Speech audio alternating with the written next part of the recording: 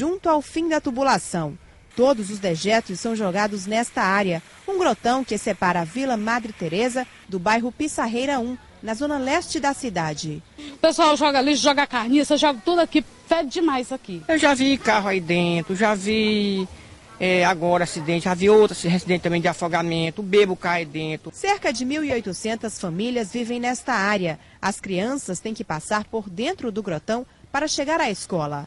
A comunidade já se reuniu para reivindicar e até exigir uma solução para o problema. Segundo a presidente da Associação de Moradores do bairro, um projeto já foi feito pela Prefeitura de Teresina, mas nunca foi executado. A gente está pedindo encarecidamente aqui às autoridades que tomem providências antes de haver uma vítima fatal.